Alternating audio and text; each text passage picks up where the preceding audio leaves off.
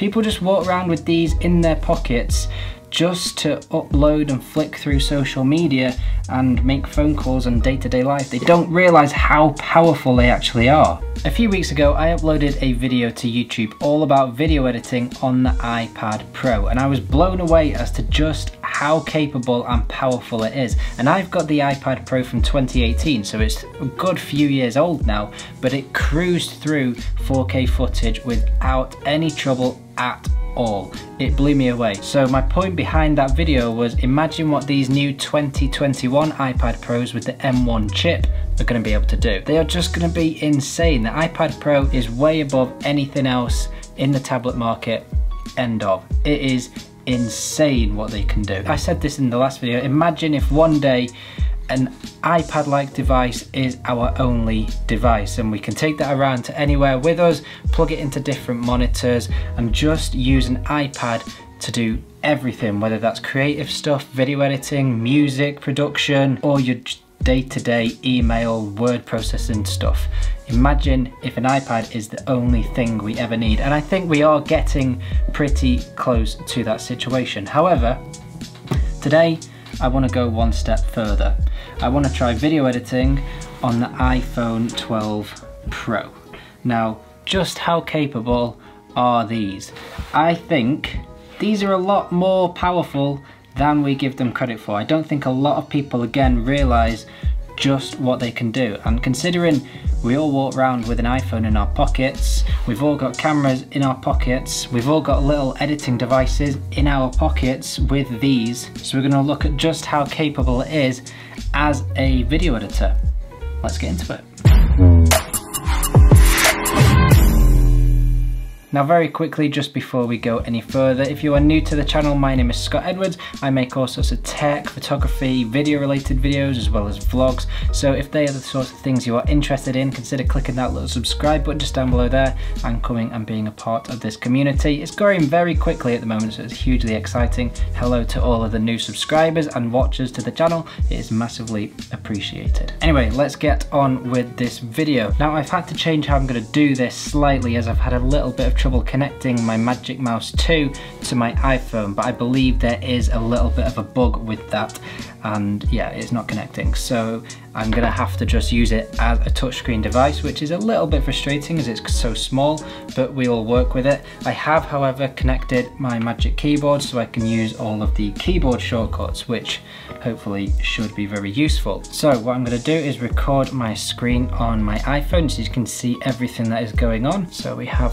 LumaFusion open here directly in front of me, and you can see that it looks exactly the same as it does on the iPad it's just a lot smaller because you're on an iPhone. So we're going to create a new project and we're just going to call this a test project and the frame rate is going to be 25 frames a second because I'm in a PAL region, I'm in the UK, I film everything in 25 frames a second unless it's slow-mo and then I increase the frame rate.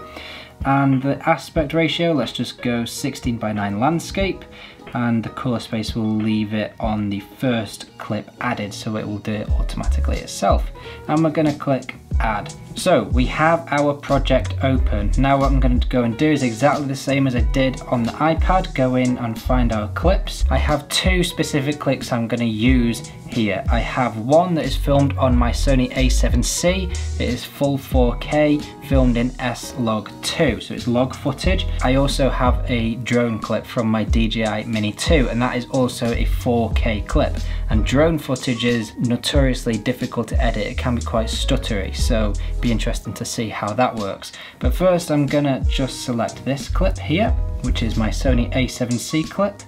We can scrub through it here and if we wanted we can click I to select the in point and if we drag that along there we can select O and then we can drop that into the timeline and then we can scrub through it here we can make it smaller and you can see so far there is absolutely no lag. Now what I'm going to do is click play and hopefully it will play straight away.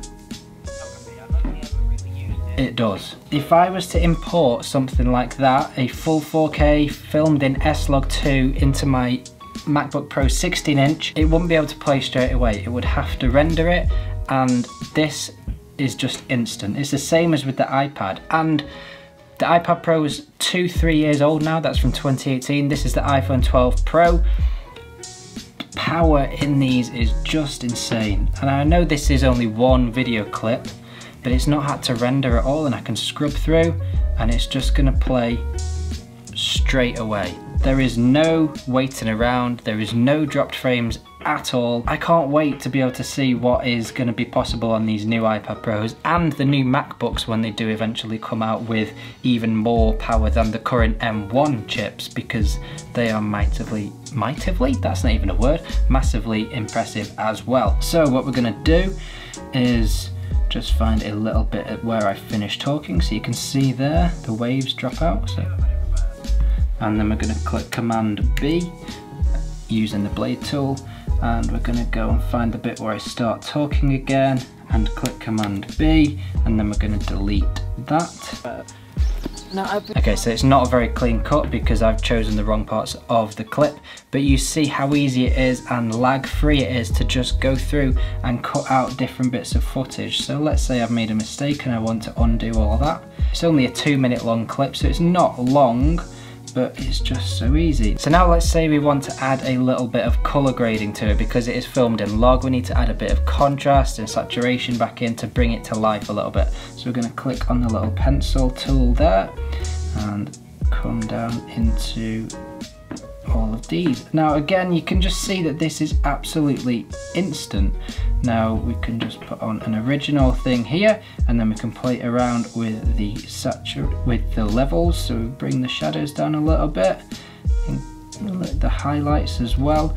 Now one thing I do miss that is on Final Cut, when you're using LumaFusion you don't have any of the waveforms which are very very useful when you are editing colour. It's just instant, it really does baffle me as to how quick it is. This is on an iPhone and you can just mess around with it as much as you want and there's no waiting around at all.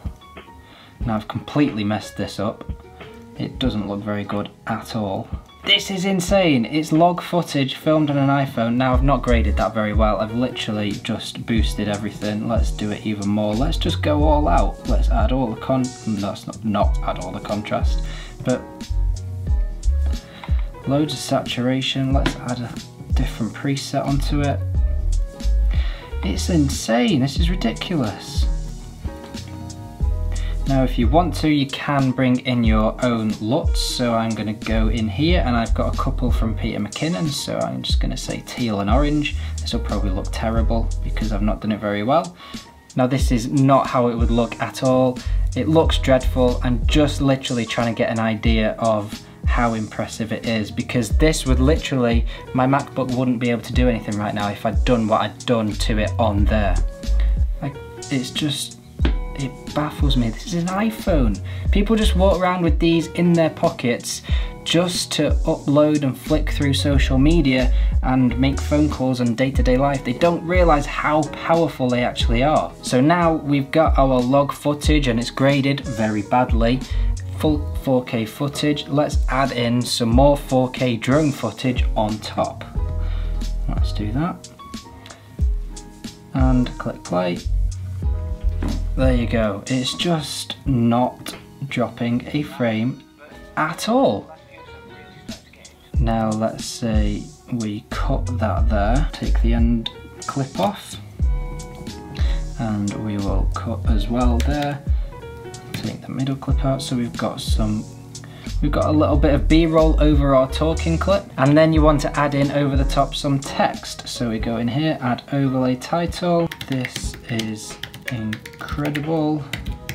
Change all of this, we'll change the size.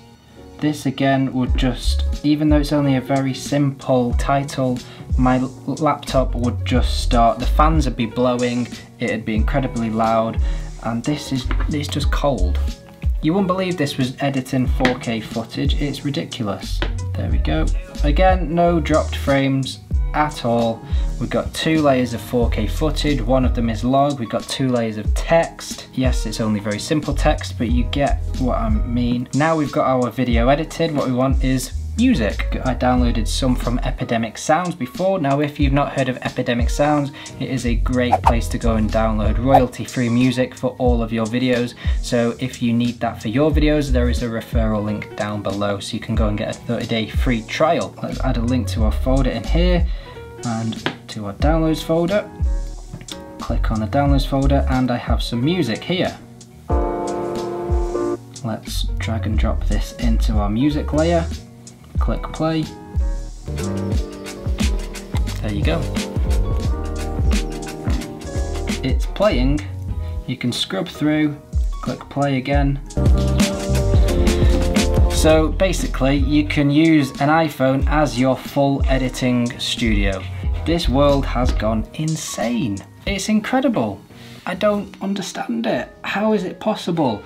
This is just, it's cold, there's no fans, it's silent, it lives in your pocket, it's got a camera on it, so if you shoot some footage on your phone, you can edit straight in Lumen, Lumen, Lumen, LumaFusion. Mind blown. I, I was speechless after the iPad video. I didn't even realize it was possible to do on the iPhone.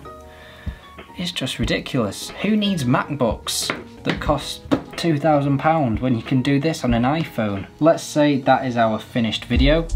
It's obviously not, it looks dreadful, but we're gonna go and export it as a movie to the Files app and we're going to save it as a 4K footage, extreme video quality. It's a two minute video, it's just exporting rapidly. Look at the speed of that.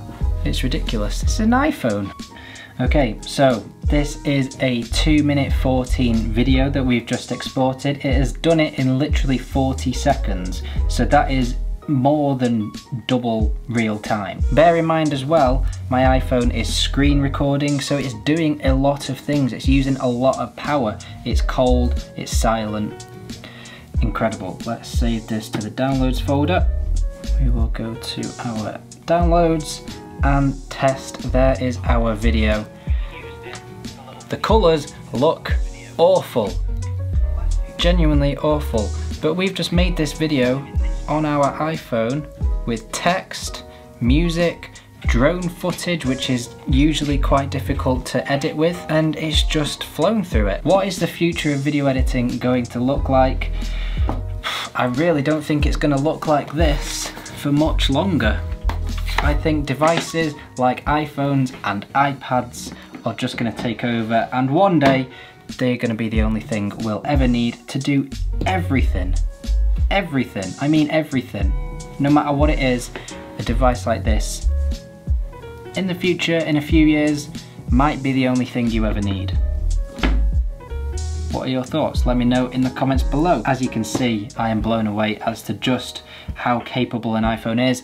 Again, I really don't think people realize how powerful they actually are. That's it for this video. If you like what you see on the channel, click that thumbs up button just down there and come and be a part of the community by clicking subscribe and I shall see you all very soon in another video.